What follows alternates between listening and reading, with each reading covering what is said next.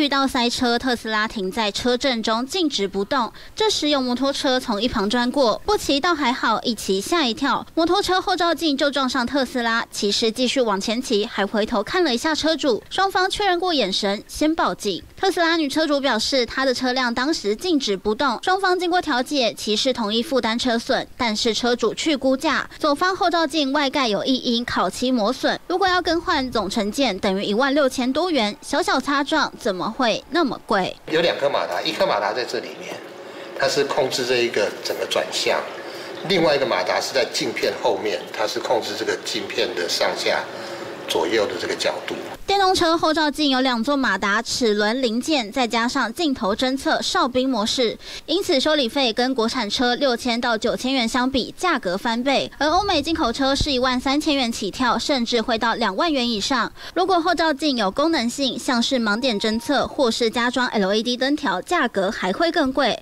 尽管上万元真的不便宜，但对于特斯拉车主来说，要不要出险更是难题。车子的保险，如果你出险过，你明年的保费。可能会涨，或者是你可能拿不到折扣。那平常的每一年的折扣是两成，所以你的保费如果是十万的话，两成是四万，那你少了两成，这样的两成保费，你还不如拿那个钱。